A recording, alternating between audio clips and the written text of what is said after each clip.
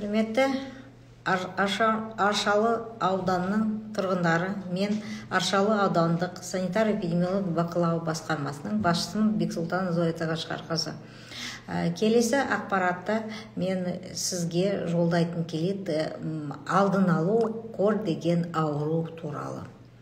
Здравствуйте, уважаемые жители Аршалынского района, э, поселка Аршалы. Я руководитель Аршалынского района управления санитарно-эпидемиологического контроля Бексултан Зоита Кашкарна хотела предоставить информацию по профилактике кори. Вы знаете, сейчас сложившаяся ситуация в мире э, говорит о том, что э, в странах Средней Азии, то есть в постсоветском пространстве, в той же Киргизии поднимается заболеваемость корью, заболеваемость корью как среди детского населения, так и взрослого населения. Корь является классическим э, детским заболеванием, против которого в настоящее время проводится вакцинация.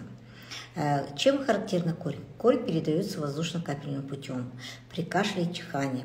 В прежнее время встречалась очень часто довакцинально, но теперь у нас, у нас, например, в Казахстане э, встречается очень редко, благодаря тому, что у нас проводится массовая вакцинация по национальному календарю вакцинации к национальному календарю в Республике Казахстан. Корь может иметь тяжелое течение отношении э, у непривитых, и как у детей, так и взрослых. Взрослых намного проходит тяжелее. Глобальная смертность э, от кори, от данного инфекционного заболевания снижается каждый год, но тем не менее ежегодно погибает порядка 100 тысяч человек в мире от э, заболеваемости именно корью. В основном погибают дети до 5 лет. Корь распространена во всем мире. Ну, в 2000 году, например, из заболело в среднем от 30 по предварительным расчетам, заболело от 31 до 40 миллионов в мире заболело именно данным заболеванием. И погибло порядка 2,1% э, детей, в основном до 5 лет. Ну какие? Ну и высокая заболеваемость, вот именно и смертность, и э, смертность, и, в связи с тем, что она является воздушно-капельным путем, передается, да, пере, получается при кашле, чихании и при попадании на поверхности, который человек, здоровый человек может э, руки э, опустить именно, а потом поднести руки, руки к глазам, именно у нас на лице слизистые это глаза, да, имеется слизистые глаза и ротовая полость, носовая полость. Э, и получается, что человек может точно так же заразиться именно корью. Ну и хочу сказать, что первые симптомы. Первым симптомом является повышение температуры повышение, там 3-4 дня. Ну и, конечно, э, она сопровождается сухим кашлем, насморк, конъюнктивит и боль в горле. То есть те признаки, которые характерны для э, любой воздушно-капельной инфекции. Да? И это, э, это именно эти стадия это продромальная, да, продромальная, то есть скрытая стадия, она продолжается 2-3 дня. В следующем, получается, инкубационный период продолжается. И первые 10-14 дней от заражения от больного человека никакой симптоматики нет. Ну и получается появление сыпи. Чем характерно для кори, это появление сыпи. Это маленькие красные пятна, с которые имеют припухлость, то есть папула приподнятая, и э, скопление именно пятен, и папул придает диффузно гиперемированный вид. Ну и сыпь сначала появляется на лице, потом за ушами, по ходу роста волос, последующим дальше распространяется вниз на руки, на туловище, бедра, голени и стопы. Одновременно с появлением именно сыпи, данной сыпи, появляется еще увеличивается температура тела, то есть лихорадка до 39, до 40, 40, 41 градусов. И такие э, замечаются случаи, когда повышается температура до таких высоких градусов, да, параметров. Сыпь длится э, обычно до 6 дней и постепенно исчезает. Ну и, конечно, сначала с лица, рук, туловища и в последнюю очередь у нас э, с бедер и стоп. Ну что еще хочу э, сказать. Больной заразен 8 э, дней. Это 8 дней. Это 4 дня до появления, до появления сыпи и 4 дня после первых и, и после и 4 дня. И кожная сыпь и может быть после появления до появления 4 дня имеет, имеется, и вот тогда именно она, это сыпет больной человек, заразен для окружающих. Ну и если имеется проблема, если есть беременная,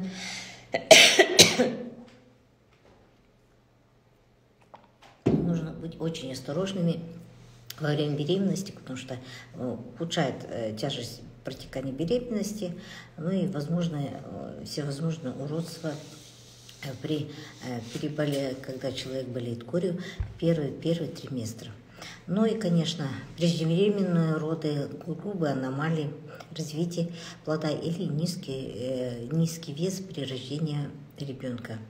Ну и, конечно, э, у нас выявляется тромбоцитопения, то есть снижение тромбоцитов, которые необходимы для свертывания крови. Ну и, конечно, общая частота осложнений в, в развитых странах.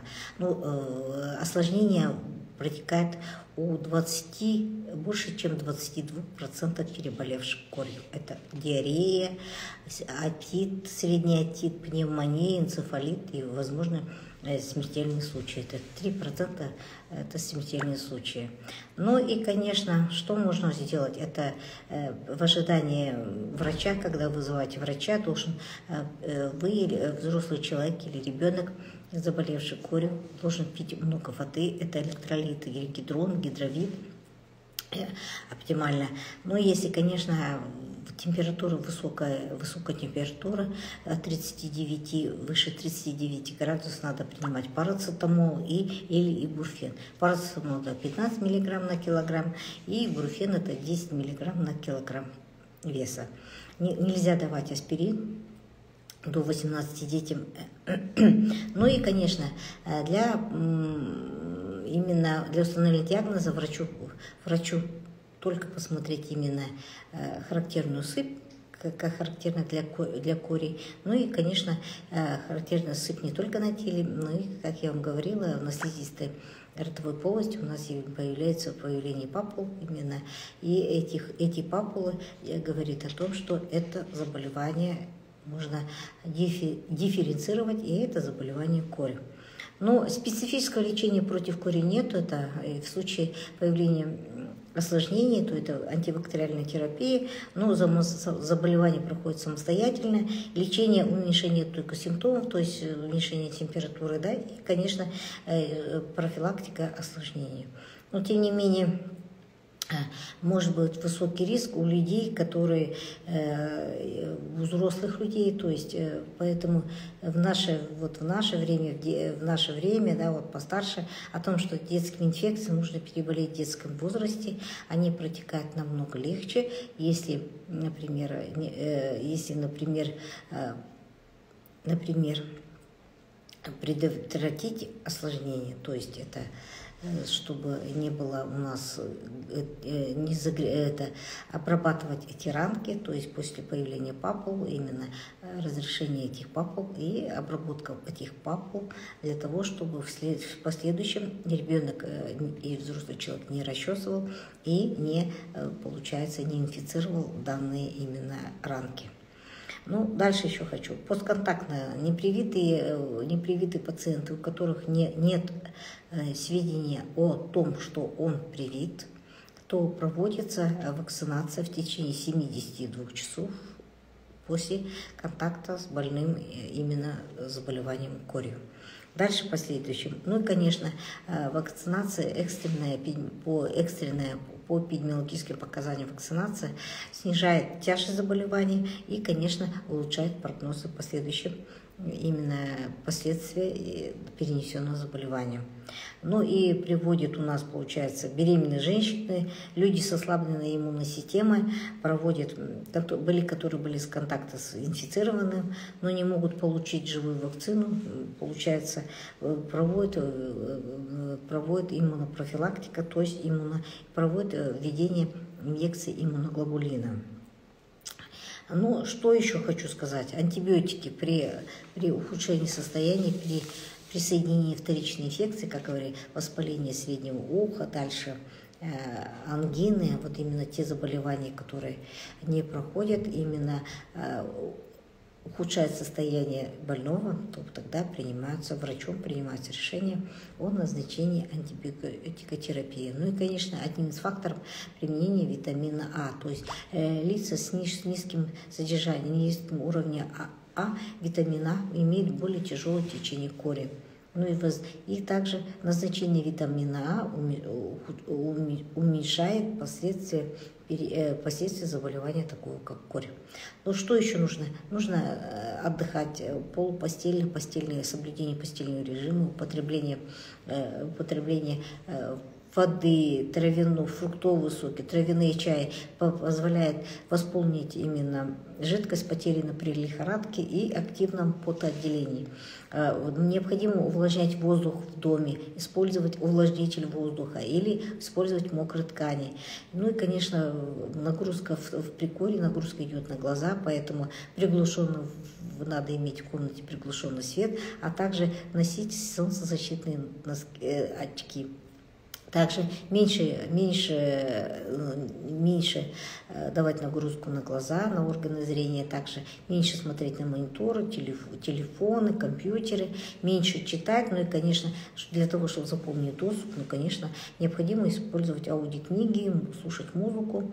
Ну и, конечно, если кто-то в семье болеет корью, то необходимо соблюдать следующие меры предосторожности. А, я так как раньше говорила, что кори является заразной э, первые четыре дня после появления э, до появления сыпи, а также 4 дня после начала появления, начала первые 4 дня появления сыпи человек заразен, поэтому больной человек не должен контактировать с здоровыми людьми и провести максимальную изоляцию. Э, конечно, ограни убрать посещения, визиты, встречи. Ну и, конечно, э, очень важно, чтобы непривитые люди изолировать от зараженного человека. Ну и, конечно, э, о том, что необходима вакцинация. У нас проводится национальный календарь прививок, который мы приводим, проводим вакцинацию. Это ребенка коревой, живой коревой вакцины, это в один год, и ревакцинация в 6 лет. Если человек один раз в жизни переболел корью, то иммунитет остается на всю жизнь.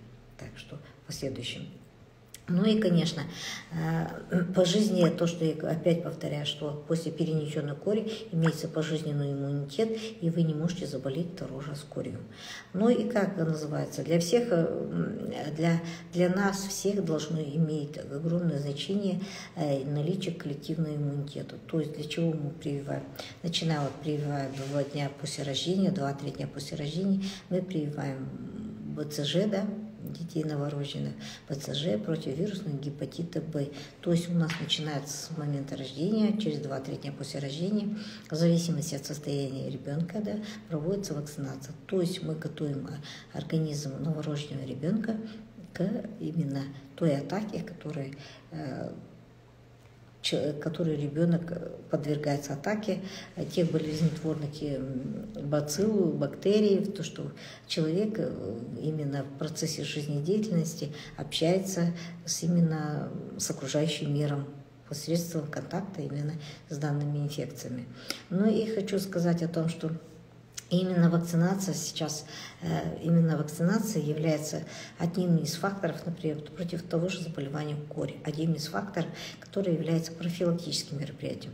Если снижается коллективный иммунитет, то есть снижается коллективный иммунитет, я хочу еще немножко сказать, что у нас 2000 в 2017 году у нас была вспышка кори в воинской части, находящейся на территории нашего Аршиланского района, когда солдат-срочник заболел корью. Оказалось, что у него были э, в вакцинации были пробелы, то есть он не был вакци...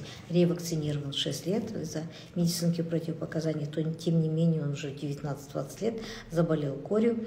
Э, в срочном порядке по эпидемиологическим была проведена э, это вакцинация именно всех окружающих для того, чтобы предотвратить именно тяжелые осложнения. У взрослых людей это тяжелое осложнение, это пневмония, пневмония, э, э, кроме пневмонии еще воспаление среднего уха. Э, также есть и виды диареи, тоже возможные данные энцефалита, то есть воспаление, воспаление вещества головного мозга, тоже этот, эти факторы не можно, не, можно э, не, не э, скидывать со счетов. То есть это те, э, те тяжелые последствия после перенесенного именно заболевания, детского заболевания, как такового безобидного, является именно Такие осложнения, грозные осложнения, это средний отит, диарея, также пневмония, ну и, конечно, энцефалит, ну и тоже э, имеются смертельные случаи. Ну и хочу сказать о том, что вот именно природные вот именно катаклизмы тоже может появиться такое заболевание, так как у нас, говорю же, в Казахстане спорадические случаи, так как у нас ему коллективный иммунитет имеется, но тем не менее мы должны все задуматься о том, что необходимо, э, необходимо э, при отсутствии медицинских противопоказаний подвергаться, проводить э, именно профилактические